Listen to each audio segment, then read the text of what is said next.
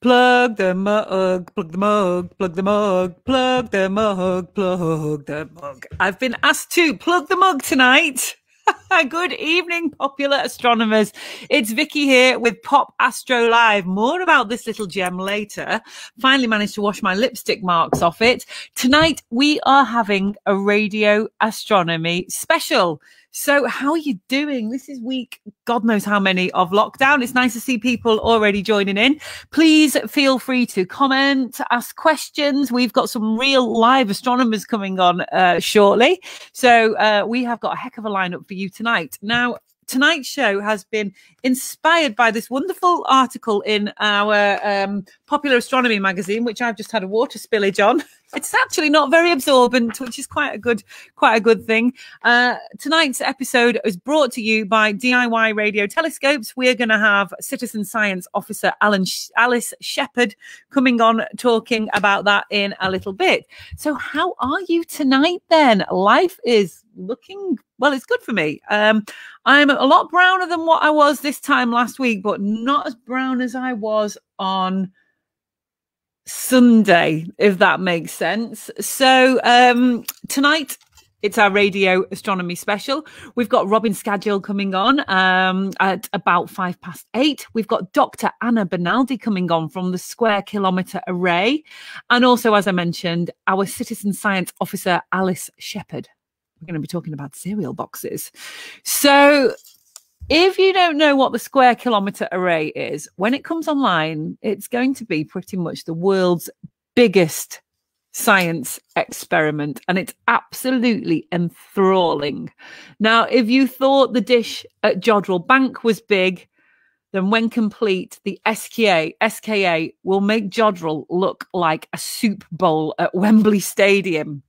So, first things first, this is the important thing tonight the mug there's somebody in the mug. There is actually somebody in the mug. And you have to guess who it is to win the mug. Now, we've just got a new range of mugs um, um, um, made up with great new logos and little jokes on them. Uh, they're they're absolutely fantastic. Paul Sutherland has been working diligently to come up with puns, and he's a retired hack, you know. So it means that he's thought of some very witty things to put on the side of the mug. You can pick which mug you want, but first, to win it, you've got to guess who's in it. Now, I can only answer yes or no questions. But hopefully by the end of the show, we can narrow it down. Let's see. Oh, hello. Um, hello to Ian Baker. as Astronomy Vicky, that's me. And hello to Paulina. Hi, Paulina. Do you fancy having a guess to see who's in the mug to win it? Just start guessing. Start narrowing it down. You know, male, female, um, astronomer, famous person, scientist. you know how to play the yes or no game, don't you? So great. Start guessing away. It's lovely to have you this evening. So yeah, um, who could be inside the mug. So, something unusual is happening tonight, and you're going to be really lucky if you get to see it. It's a beautiful, full strawberry moon this evening. It's going to appear in the sky. It's going to su- coincide with a really subtle penumbral eclipse. Now, it's only going to be visible pretty much from the south of the country. I'm just looking out towards Snowdonia now, and there's a really thick bank of clouds, so I'm probably not going to get to see it. Um, from Edinburgh, the moon won't rise until 2140. The eclipse ends at 2206. Okay, so there's going to be a slight penumbral eclipse. Um, this is the most subtle form of eclipse, and it occurs when the Earth, Sun, and Moon are all aligned, with the Earth casting a slight shadow over the Moon. Now, last year when there was a penumbral eclipse, it was amazing. It was like this black bruise on the Moon, and I thought it was more exciting than almost the, than a total eclipse. Um, also tonight, it's the strawberry moon. Now, why is it called a strawberry moon? Is it because it's going to be big and pink? Well, sometimes moons are big and pink as they rise, but many of the moons have are given names due to um, well, the Native Americans who've got beautiful poetic names for full moons. Now, I'm one quarter Native American, and for me, that is just um, it's just such beautiful name. So in January, you've got the wolf moon or the old moon. In February, you've got the snow moon, or it's also known as the hunger moon. I mean, that just really makes me want to cry to think that the February moon is called the hunger moon. You can imagine why. March, some beautiful romantic name for the names for the spring and summer uh, moons. In March, we've got the worm moon or the sap moon. April, it's the pink moon or the planter's moon. May is the flower moon or the budding moon. And June is the strawberry or the rose moon. There's some gorgeous roses out right now, aren't they? Absolutely beautiful. If ever I see a rose, you can guarantee I'll stick my nose in it. Always stop and smell the roses. Um, July is the book moon or the thunder moon. August, sturgeon or green corn moon. September, the well known famous harvest moon or the corn moon. And October, oh, start to get depressing and wintry again. Bruh, the hunter's moon or the moon of falling leaves.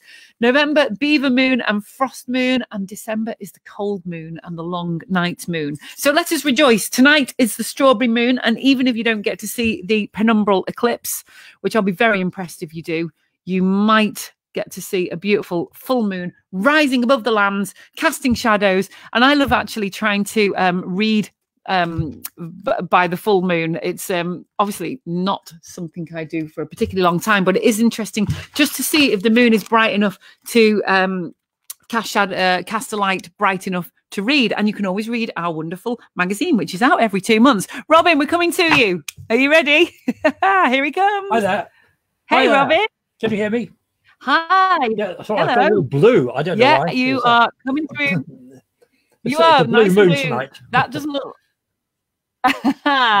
Robin, it's really good to see you, as it always is on on these broadcasts. My, you are blue. Let's see if I can put a bit of light on this. It's the maybe it's my red shirt that's turning everything down. I don't know why. Are you wearing one of those auto um... color balance for you? It doesn't work very well, does it? All the time. Yeah. you look like a Smurf. Thank you very much. Astronomer Smith. so, how are you, Robin? What have you been up to, and what wonderful news have you got for us tonight? Well, actually, in, in, a way, it's wonderful news. You've already mentioned the penumbral eclipse of the moon, which a few of us will be able to see. Don't expect a great spectacle, as you said. It's uh, great. It's going to be pretty well over by the time we uh, we get it, and the moon will be rising from the London area about five past nine. Uh, from where you are, I think it's, uh, I wrote it down, yes, I didn't know, is 21, 27. That's oh. the nearest I can get. And um, so by the time the moon has risen, you might just see a faint, dusky, shading bit to the to the bottom left of it, uh, bottom right of it, and that will be it. The partial eclipse of the moon, uh, or there's mm-hmm. a number of eclipses of the moon. Don't expect great spectacle, but if you are if you are interested in seeing the Starlink satellites, a procession of Starlink satellites, those will be coming over tonight, visible from most of the country, They're particularly uh, high up in the south. At about 2348, they will be overhead or pretty well overhead, going through the plough. And uh, that, that, that's that's from you uh, from the London London area. A bit further north, they will be a bit lower in the sky, lower down to the south, and even from the north of Scotland up in Thurso, you'll be able to see them very low on the on the southern horizon. 2348. They're supposed to be about magnitude uh, 1.5. Oh. Uh, sometimes the brightness varies. It is a spectacular sight, but as we know, the Starlink satellites are the bane of astronomers these days mm. because there are getting to be so many of them. There's a, there's a launch of 60 about every month, and the plan is to put 12,000 of them up with Elon Musk's constellation of satellites, and there are others planned as well. So at this this time of year, in particular, satellites are very prominent in the sky because the sun is so low below the, uh, the, the horizon, virtually the northern horizon. So the satellites are all illuminated, and you just get dozens of them this time of year. Um, can I just say what I tend to do because it's really easy to miss a space station or satellite pass? Set the reminder in your phone for about two minutes before it's due, and then when it beeps, you can just dash out, throw your coat on, and um, and wow, wonderful! And that's going to be a good high pass at about what time? 12, 11, 48 uh, tonight. 11, 48 BST, and there should be in a very narrow procession because they, they only launched yesterday, and oh, so, so they will be clapped together. So it will look like a string of pearls going through the sky not great fun for astronomers, particularly if you're trying to take a photograph of the sky at that time of the of night, but actually a spectacular sight. I've seen them from other parts of the world, and it was a dramatic sight. So hopefully they will be to your liking, but uh, let's hope that they uh, don't spread all over the sky too much. Otherwise, it could be very difficult to, for astrophotographers and astronomers. Well, uh, hopefully he's going to uh, get them tilting flat side on and and all sorts of cover up stealth mode, um, painting them black. Is that right? Yeah, painting them black apparently didn't work. The, the, the latest batch is one of them that has got a sun visor on it, Okay. and it shields it from the sun, so the the sun uh, will not shine reflect so much so brightly off that particular satellite. I don't know which one it is from the series, but maybe one of them will look a bit darker. Let's hope so. So fingers crossed there. Robin, um, can you talk to us first of all? Now, I, I've where's my magazine gone? It's here. We need a shout out. I think we need to keep plugging this because I know you ran off your feet doing lots of other stuff for the um, um, the SPA. We need an editor for this, and it's a voluntary role. But wow, it's going to look good on your CV, isn't it? That's right. Yes, I'm doing it at the moment. I'm I, I'm quite happy to carry on. It's an interesting job, and it's a very um, it's a very time consuming job. Uh, I, not not all the time. I mean, it's a part time uh, effort, but we have been doing this for the last 60 years, producing a, a magazine. And it is a wonderful magazine. It is amazing how much people can do voluntary, and it is a professional standard. It's a, a world class magazine, really and Completely yet world it's something we do voluntarily and yet the contents are really good and i will pit them against anybody else. Don't uh, it's it's not an amateur production in many ways Yes, it is completely not. And um, I, my fa- I know what we always talk about this, but I do love the section reports that we have where you can contribute your own observations.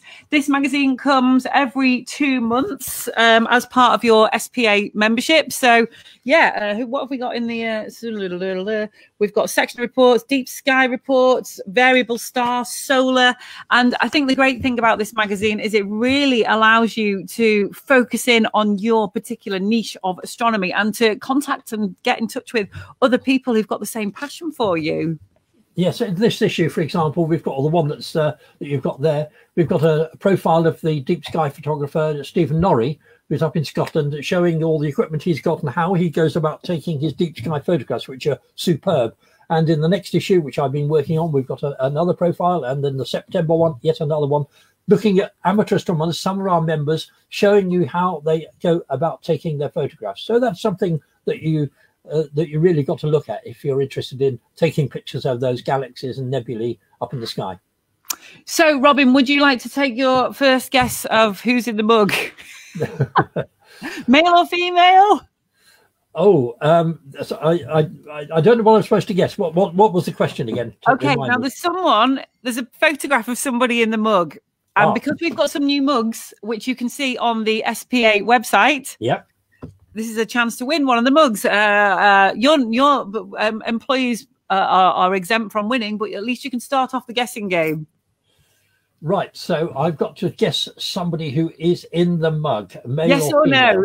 It's a yes or no question. You know, 20 questions, Oh. but I'm sure it'll rattle on for many more. Oh, oh, I see. Okay. Is it male or female? Yes, that's a, that's a good one. Hang on. I can only answer yes or no. I'm going to stick to my own rules. Right. Is it male? Yes. no.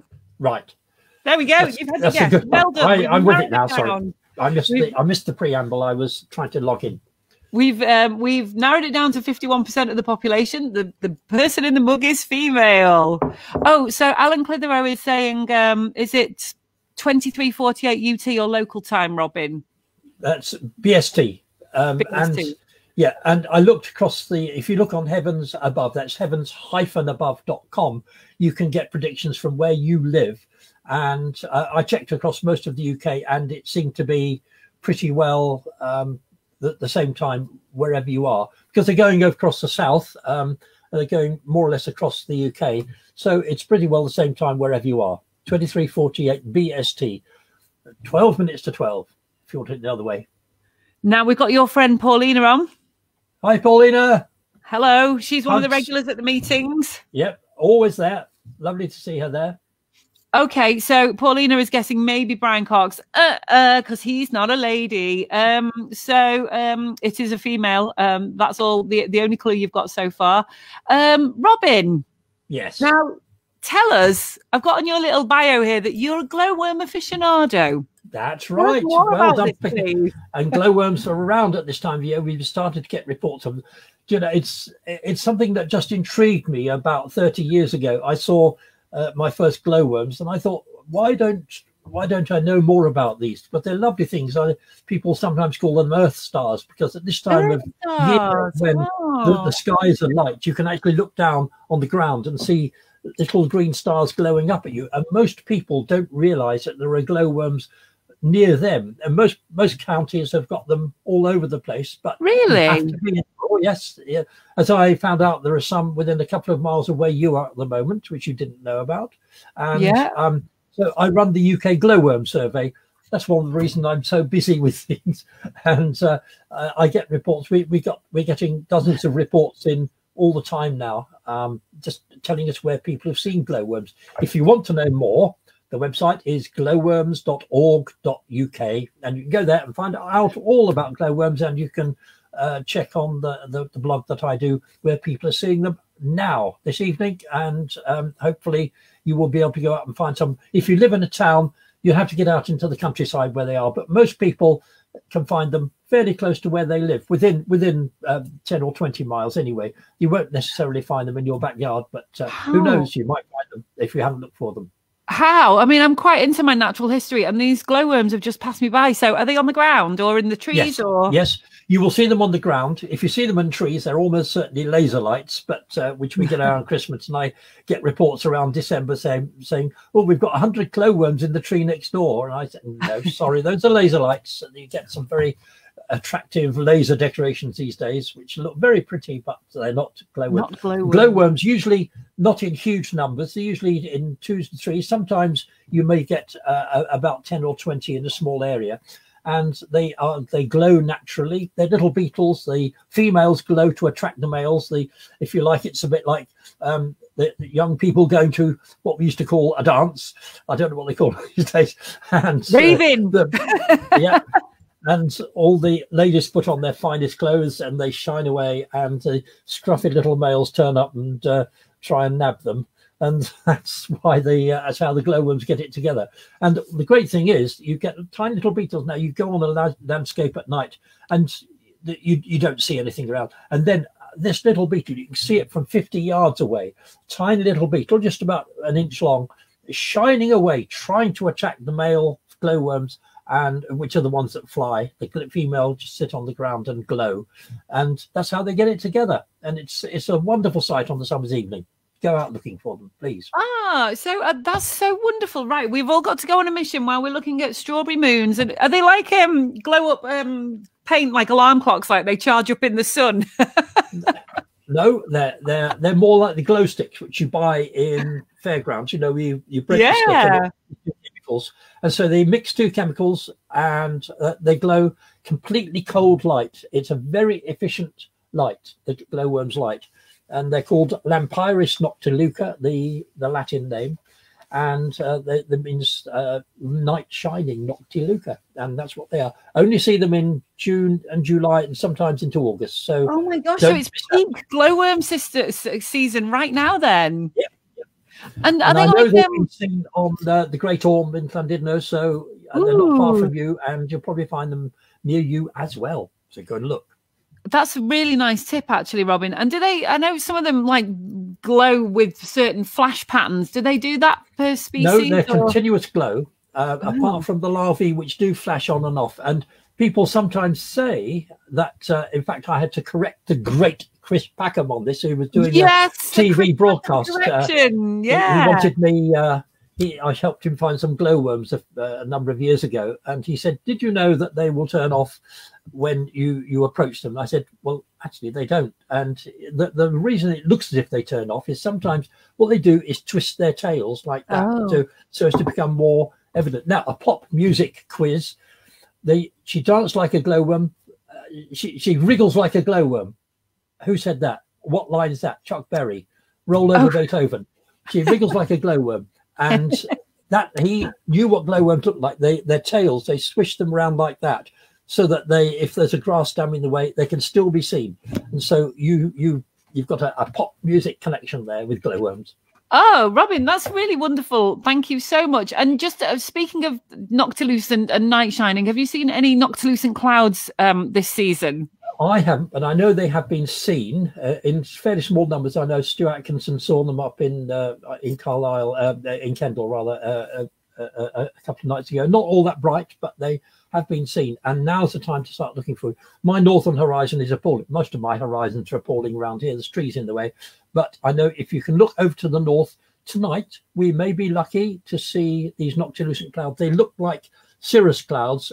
They're shining very low on the northern horizon uh, but they're beautiful bluish clouds, uh, very uh, like cirrus, but wreaths of, um, of, of, light.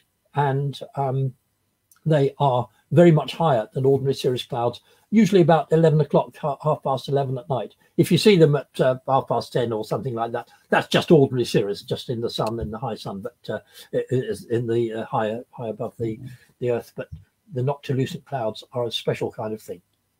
Wow. Okay, Robin, thank you so much. It's always a pleasure to chat to you and um, definitely see you next week. And you're not looking quite as blue now. The life has come back to your face. You've obviously got some oxygen back in your system. That's right. Uh, okay. Um, Great to see you. Catherine Rayner Evans says, Howdy ho. Oh, hi, Cat. There we go. I've not, I have oh, yet to meet this lovely lady. Yep. Great. No, okay, well. we're going to she, right then. She helps me with popular astronomy. She's the features editor of Popular Astronomy, so uh, she's very helpful indeed. And she personally licks all the stamps for every envelope because I know she's mad about stamps. okay, quite. excellent. Oh, so um, oh, Andy Smith is saying I captured them last weekend. I'm assuming he means glowworm, uh, not, noctilucent clouds and not glowworms. yes, leave the glowworms where they are. Yeah. Oh, I did catch a firefly once on holiday and it went out. Well, as you, you would, as you would if I grabbed you in your hand, in in in my hand, you would just extinguish. So, catch you later, Robin. Um, thank you very much. Bye. Bye. Bye. Okay, think you just need to press the off button somewhere there, Robin. Do I have an off button? I don't know how to studio. you. Yeah. Okay. Excellent. Excellent. Okay. Right then. I need a drum roll. I need a drum roll. Um. Let's just go here. Oh, first of all, okay we have got Guess who's in the mug? You can win one of our new SPA mugs. Just keep on guessing. Keep throwing random female names out there, please. I might give you a little clue in a minute. So far, we have had um, Maggie. It's not Maggie. It's not Jocelyn Bell Burnell. I got to interview her um, this time last year at the official inauguration of the Square Kilometre Array, where I was making videos. She was ultra cool and um, wow.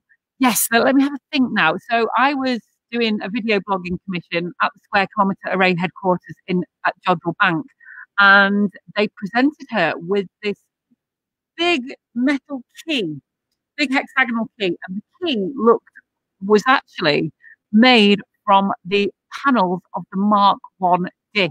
So it was like a big kind of looked like aluminium.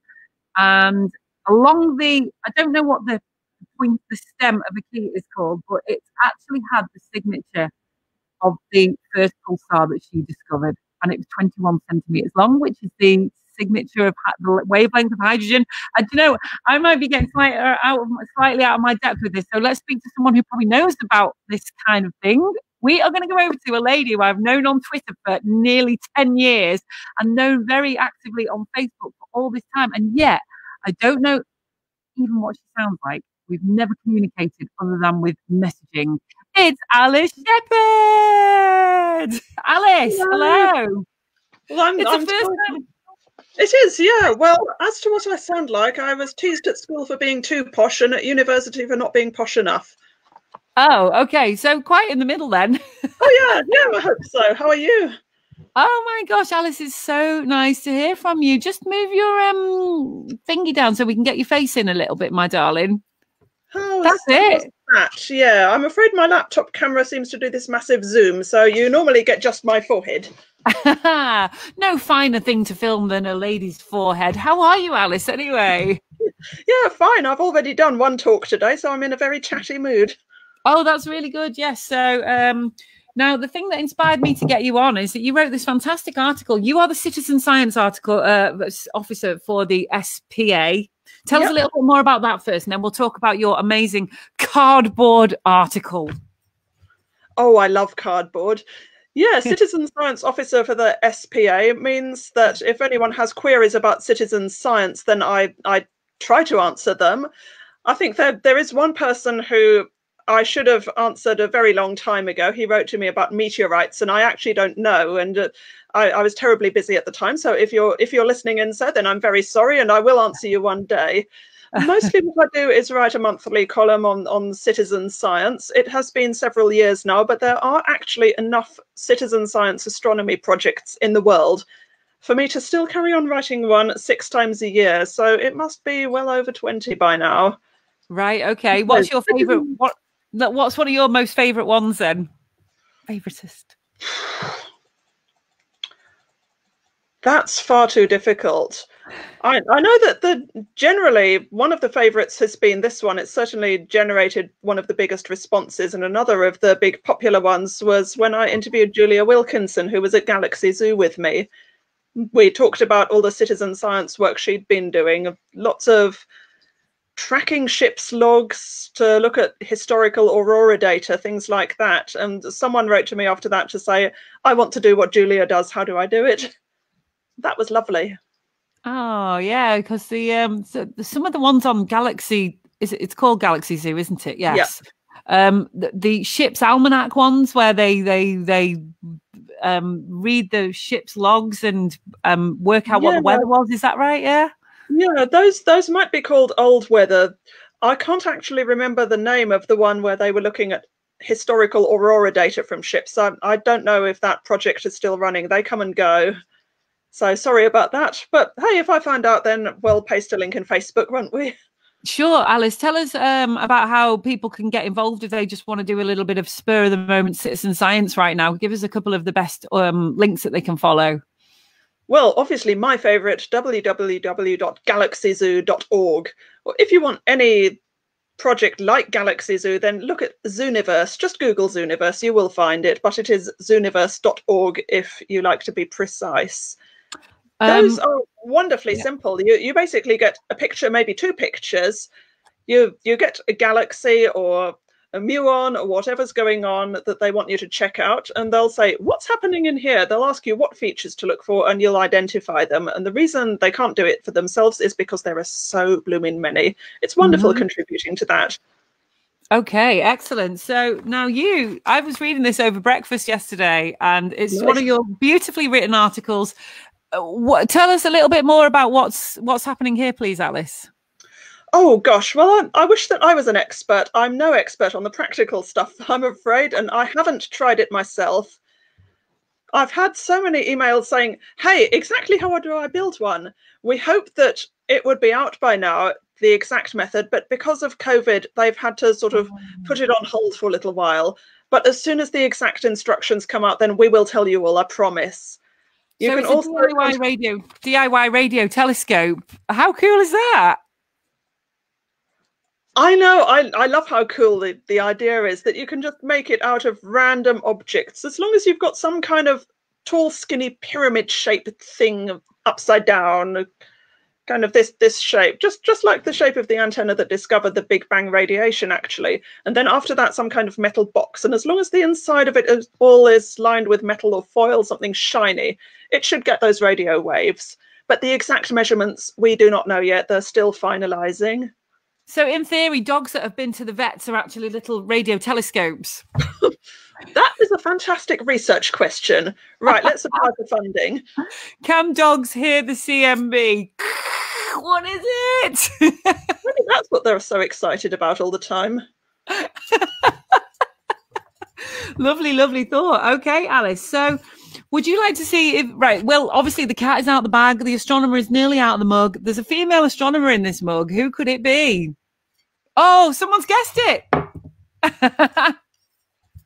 oh, well done. to guess? Or shall I yeah, quiet? You, you can guess and see if you can. It's not Heather Couper.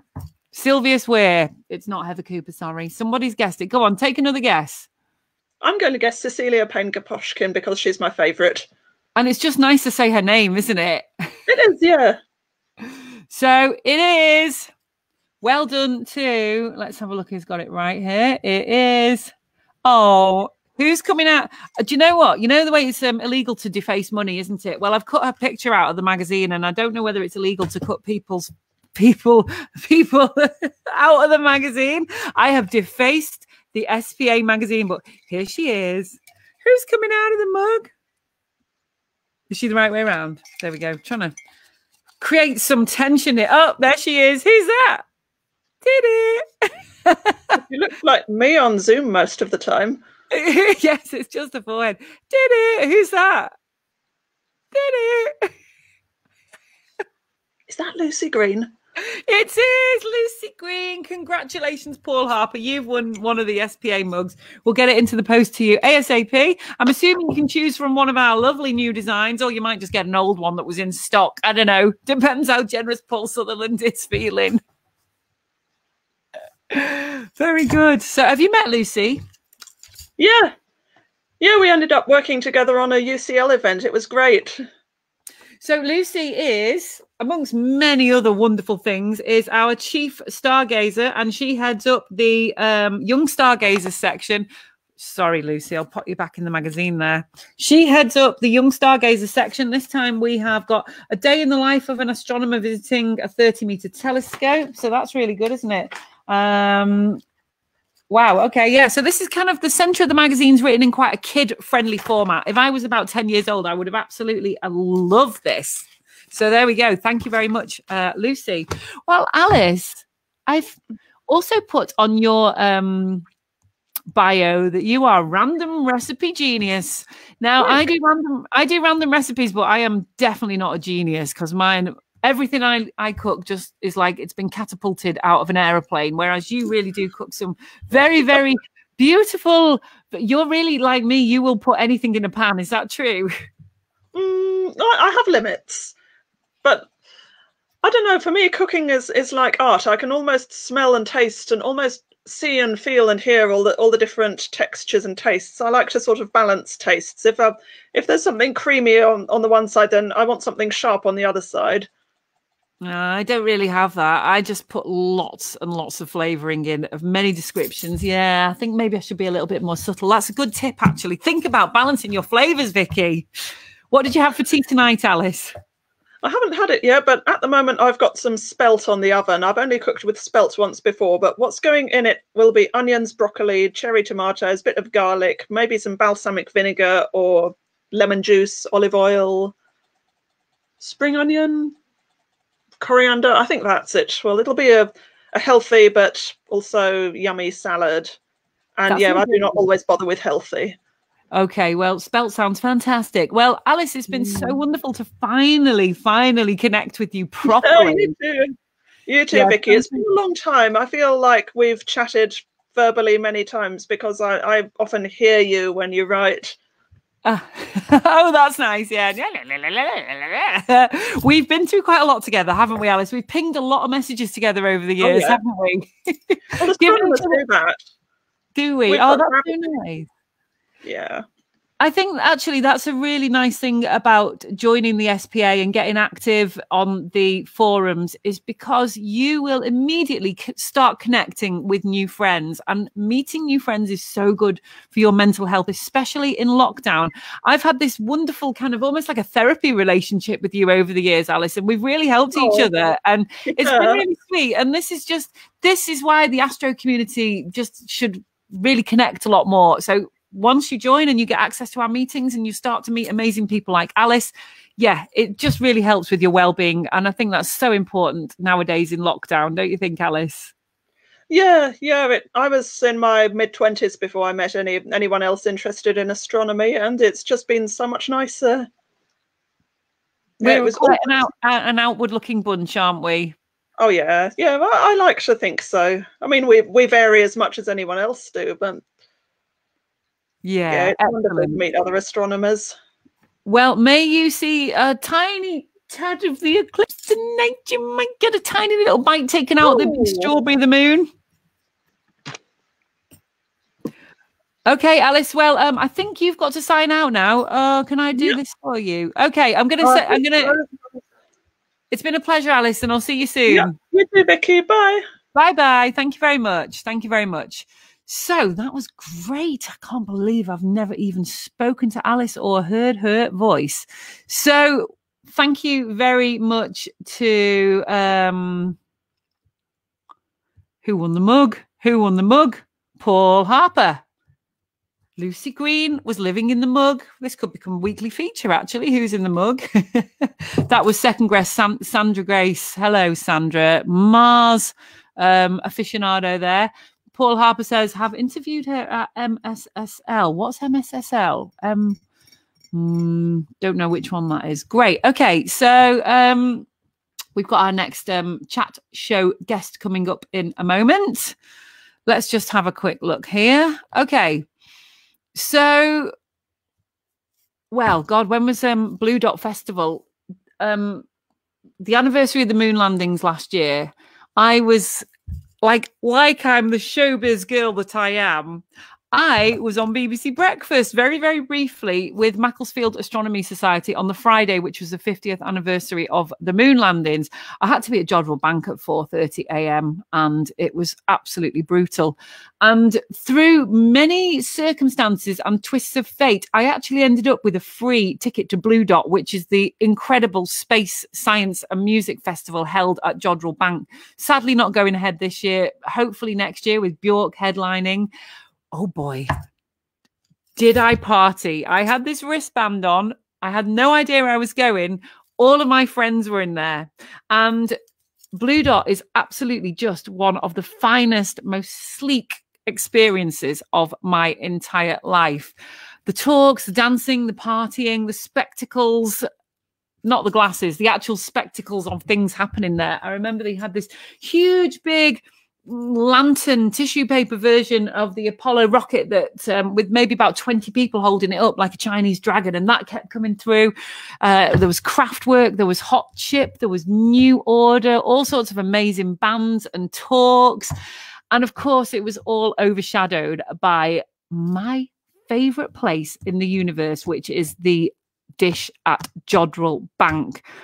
I have um got a bit of a crush on that dish actually. Ever since i've been a little girl and um, we used to be able to see it on the cheshire plain and my dad used to tell me it was the moon. Why would you do that dad? It wasn't the moon. It was jodrell bank and i believed you.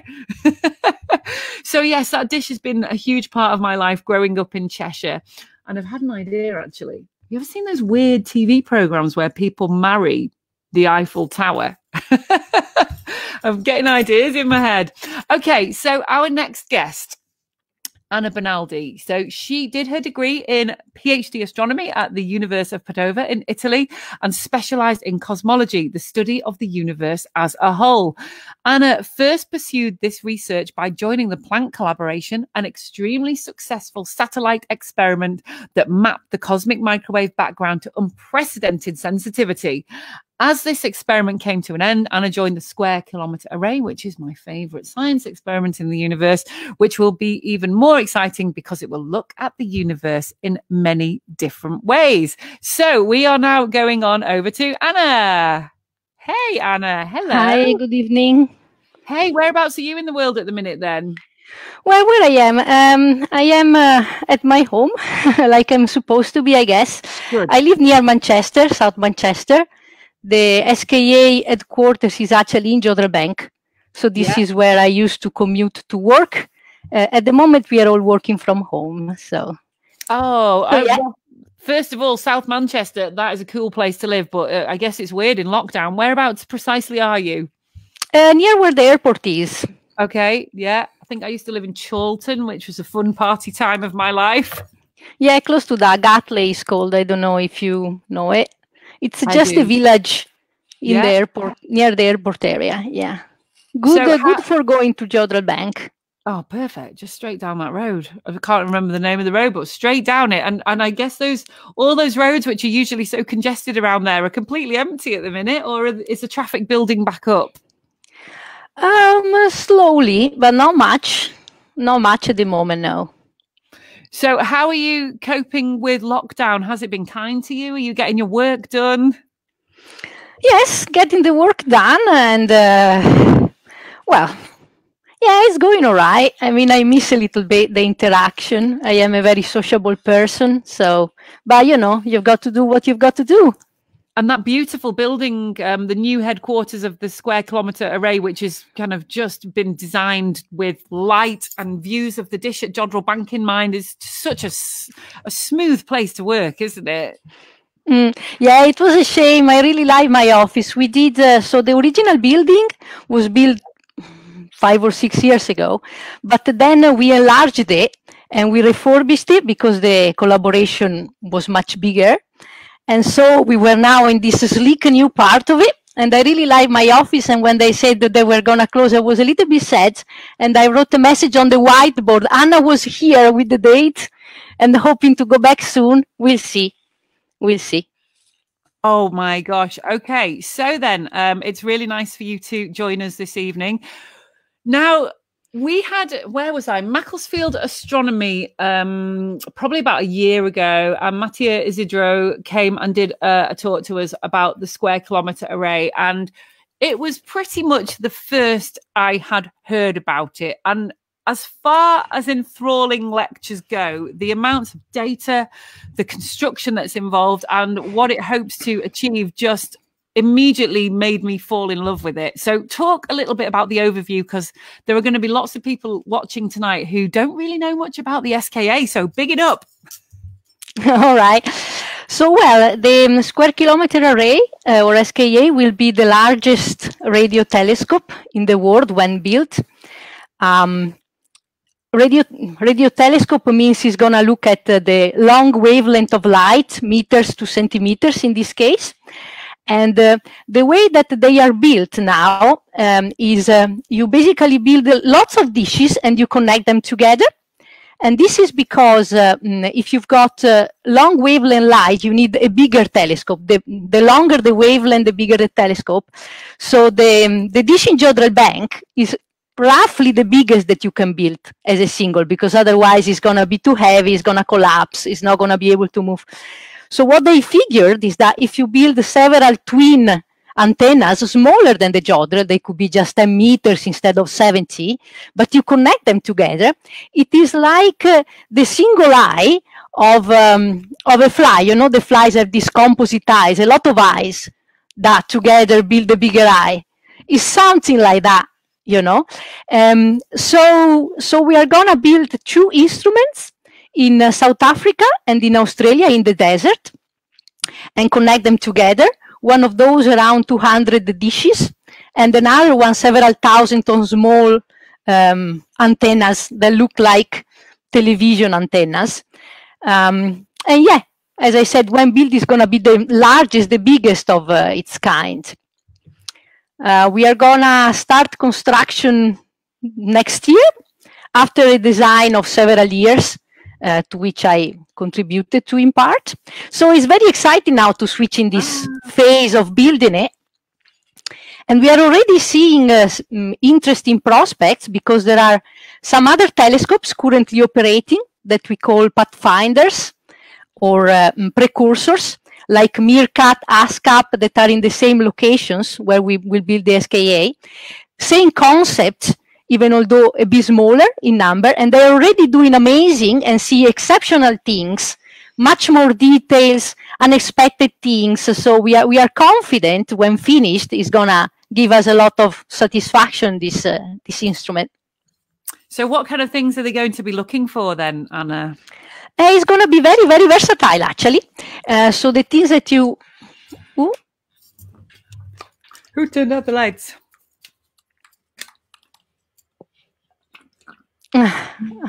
apparently went to sleep my desktop i'm gonna keep it awake. Sorry about that.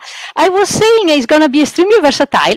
So you can see in a very detailed um, very small things. So looking at for example planets in extrasolar systems and far as far as looking whether there are um, organic molecules and possibly hints of life and even intelligent life going to larger things like studying galaxies in various phases of their evolution, how the galaxy form and evolve, and uh, looking at big uh, samples of galaxies to study cosmology. Um, and, uh, uh, you know, so from the very large to the very small to very um, energetic processes like, you know, uh, explosions, uh, black holes accreting mass, this active galactic nuclei. So it's going to be an observatory basically. So not one single target, but several, several science cases. Wow. Now, one of the things that really impressed me was how much data this thing is going to generate. Do you, it was a, I remember a gasp going up from the audience when we found out how much it was going to generate, and then finding out that that was only a fraction of what it was going to be when the full thing was online. So, do you have any figures for that? Uh, yes. So, um, uh, it depends in which stages, but basically the sheer number of data from all the single antenna is it's huge. It's petabytes and petabytes streaming continuously. And those we can sort of reduce a little bit when we form images. Um, and these images are the things that uh, we need to store for a long time. But still, it is uh, an enormous logistical problem. Um, it is so much the data that we are not able to store it um, for a long time. So we need to process it immediately as, as soon as it comes in to form the images immediately because the raw data is, is just too big, right? Um, and then even when we form the images, we need to regularly begin shipping them, taking them out of the computers that will be near the site and going to these regional centers that are going to process them further. Um, so yes, it is a, it is a great challenge and um, is is nothing that we ever faced at the moment. All the um, operating radio telescopes, uh, they have the possibility to store their raw data for a little while. Um, while we have basically to process in, in real time, and this is a this is cause for a lot of uh, anxiety in the astronomers because if you what if you get something wrong, you cannot go back right? Mm. So it's gonna it's gonna need a lot of careful checks when we start operating, when we, we call it commission the telescope, uh, the data rate is not gonna be immediately full because we will have less antennas. So we need to really practice how to do this real-time processing to make sure, because the moment that you do it, you cannot go back. And if you make a mistake, you're gonna lose some of the data. So yeah, so that, that is one of the biggest challenges. But you know, we are we are confident. We are working on it. That's fantastic. Okay, now that was an overview. We're about to go down the wormhole now. The, the the the lecture is about to accelerate at light speed or even faster. So we're going to go down the wormhole. What are some of the latest findings in cosmology? And please feel free to be as technical as you want with this question. All right. Well, actually, cosmology is um, is a discipline of uh, very patient collections of a lot of clues, to be honest. So it's like if you have, um, um, if you want to understand humanity, you want uh, a lot of samples of a lot of people and what they do, and you try to get clues from that. Um, so we had uh, a gold mine um, for cosmology with the, the study of the CMB, the cosmic microwave background that gave us a, you know, what we believe it is a good model of the universe. And uh, we are now, um, we almost um, exhausted that gold mine, but there is a lot more that we can do. Instead of looking at this uh, ancient universe, the CMB is just a snapshot of the universe soon after the Big Bang. We can also look closer at the galaxies and the cluster of galaxies nearby and so this is a more local universe and a more um, evolved universe, like close to how it is today. Mm-hmm. And what we can do is uh, basically see if this uh, other observations they agree with the main picture that the CMB gave us. And um, this, uh, all these other observations, we are doing them now, but uh, we, we, are going to have a, a, breakthrough soon with the, some experiments that are coming up one of them is Euclid that is going to launch in a couple of years. And also there are all these very big surveys and the SKA will also contribute to that in the radio, doing a lot, studying a lot of galaxies and putting them together. What we are seeing right now is that we have a little bit of a puzzle in our hands in that uh, the picture emerging from these um, other observations, they don't agree perfectly with the model that the CMB gave us. So this is potentially very interesting. It could tell us that we need to change some of, you know, it is challenging what we believe. Um, but we need more data to be conclusive. But if you want to do, you know, some example of something that did a big splash uh, um, recently, and it is not just cosmology, but it has implication, we can cite uh, um, the recent observation from the Horizon Telescope, the observation of the black hole. That was, was really cool, and it was uh, uh 2019 a photograph so detailed that you can finally see the black hole, or better, the halo of light surrounding it. And uh, some years back, in 2015, there was the detection, first direct detection of gravitational waves.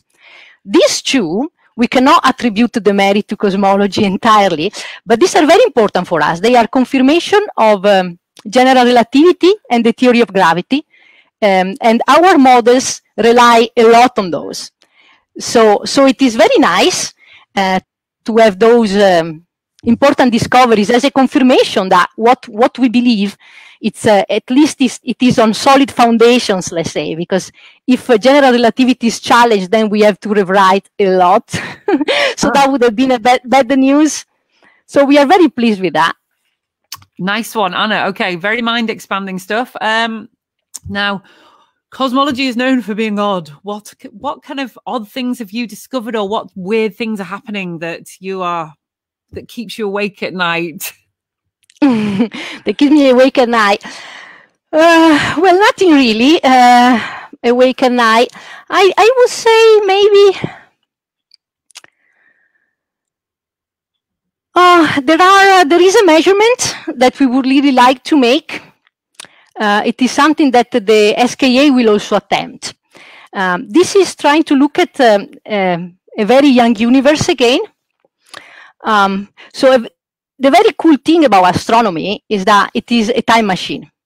So since the light from the object, they travel at speed of light, of course, um, the, more, the more distant the thing is, um, the earliest the light that you now see have started, right? So when you see something that is very distant, you see something that is very in the past. So this is like a, this is like a time machine. So if you are able to zoom in with your telescope, and this is why we want to build bigger and bigger ones, because you are able to see these very distant and faint objects that tell you about the universe million and billion of years ago, right? So that is a cool thing. So there is a measurement that we would like to, to make, and it is uh, um, it is done in the radio uh, it is called the epoch of reionization, is where, is where the first stars formed. And we believe we can measure that. It's extremely challenging because the other sort of, of radiation from our galaxy, from the other galaxies is stronger. So you need to be able to clean it. But that would be a very, very nice movie of when the first stars emerge. So there has been a suggestion that maybe it has been detected um, by one experiment called EDGES, but other experiments couldn't confirm. So at the moment, there is a little bit of unrest on this measurement in particular, whether they've done it uh, or not. But several experiments are trying to do the same measurement, and we hope we can nail it. It is also in the square kilometer array list as one of the most important things to do. So we, we hope it is proven that it is possible. Uh, if it's detected now, then we can, with the SKA, do it maybe even with more precision. It would be such a disappointment if this measurement resulted to be just too difficult to make. Ah, okay. Well, we wish you all the very best in that. Anna, could you please give us your how you got to be a cosmologist and some suggestions for a career path? All right. So, well, um, I studied astronomy as I as I was, you know, mm, uh, as as you said in your very nice introduction. Thanks for that. And um, you do several exam courses. And initially, I was thinking I was interested in planets because it was the first. I don't know. Everyone loves planets. But then when we did the, the cosmology, I got really fascinated. It is very abstract. It is applying math to reality, and you can be very imaginative with it in the sense is a lot about you know what we are where we come from things like that um, so yes it's very fascinating and um, I think it's a good path. To be honest, you need to be well. You need to like big amounts of data and uh, an, an, analyzing data. Yes, data analysis is, is something that you definitely need. Um, I don't know. I guess be able to think out of the box and uh, be patient. With cosmology you need a lot of patience because as you say it is collecting collecting a lot of clues uh, that individually tell you oh this is a very nice galaxy but uh, we want to basically use that to say what can it tell us about all the other ones? You know? So it's, it's a lot it's, it's a lot of detective work but it is a, it is a good career path i would say yeah it sounds fantastic. Anna, you have been a wonderful guest. Thank you so much. Um, will you be working this weekend or will you be having some time off? well, uh, I need to, there are a couple of things that I didn't manage to finish during the week. So I think I'll probably use part of tomorrow to catch up. But uh, yeah, then uh, after that, I think, I don't know, I'll lay well, in my garden if it doesn't. Hmm? I was going to say, enjoy relaxing this weekend and thank you. And um, big shout out to everybody at the SKA. Thank you very much for that, Anna. Thank you. Thank okay, you. Bye. Bye, bye, bye. Great. Oh my gosh. SKA, mind boggling amounts of data. Where is my magnifying glass? Hang on. when she was uh, when she was talking about being a detective I was looking over at my magnifying glass and thinking, should I go and grab it now? so, yeah, you need to be into large amounts of data, have the patience of a saint, and um, and be very inquisitive to be a cosmologist. Okay, we're nearly done now. We're going to be off air in about five or 10 minutes. Let's see what the interactions are happening. Hello, everyone. Ah, it's Stephen Sargent dressed up as Tom Hanks. Um, if anybody saw his Facebook this week. Hello, everyone. If you'd like to get involved in Square Kilometre Array Science, you might like this science project. I'm not going to read out the link, but click on it and you are going to get uh, involved in some Radio Galaxy Zoo. There you go. Thank you very much for that, Stephen. It's using one of the SKA Pathfinder projects Anna mentioned. It's Meerkat. or the other one, uh, the one meerkat, the meerkat name sticks in my head. Okay, we're getting loads of interaction here this evening. Mark has said, Where can we buy one of these fine SPA? Must not get SPA and SKA mixed up. It's been a bit of a brain medal for me tonight to try and figure it out. Um, popastro.com, then you'll see the shop tab recently stocked with new amusing mugs. Um, Alice says, if you are interested in the DIY radio telescope building, when the exact measure methods and measurements to build are, one are ready, they'll be up here. Okay. And of course, we will also tell you Mark is going to build a radio telescope. Um, thank you very much. So there we go. Well, this has been a lovely show this evening. What can we do the one about next week? I wonder. Usually it pops into my head on about a Wednesday what we can do. What have we got coming up in astronomy? Um, I suppose there's some Perseids. They're in July though, aren't they? Um, what is coming up that we could do a special on? Feel free to suggest. Send us an email or drop a comment in here. And well done to who won the mug? Paul Harper won the mug. You might even get a picture of Lucy Green in the mug if you're very, very lucky. He guessed that Lucy Green was inside the mug. Okay, please like, tag, share this video. Uh, do consider joining the SPA. Like myself and Alice were mentioning about earlier, it helps you to connect with other astronomers. And so many of the people who've been commenting on this stream tonight, I have met and they've become really good friends over the years. And it's just so nice to have people that you can dial up on your phone who's got the same hobbies and passions as you and just there for a chat. And of course, all the other benefits, the online meetings, the real meetings, the videos that we make, and of course, the magazine that comes out every two months, editor required.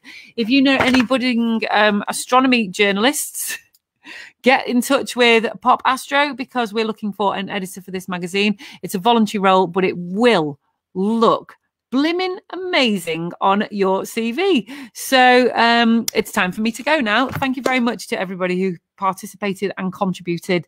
Uh, and we'll see you next week at the same time, eight from nine, eight until nine o'clock. Okay, one more comment. Let's have a look. Join the other week finally. Yes. And MC join. Thank you. I hope you enjoy your magazine. And um, I did have a t shirt on tonight, my new SPA t shirt, but the banners were covering it and it just looked like I was wearing a white t-shirt. So I thought I'd go for the stripes. See you all later. Catch you later. Um, astronomy is looking up. I think that's what it says on one of the mugs. Bye.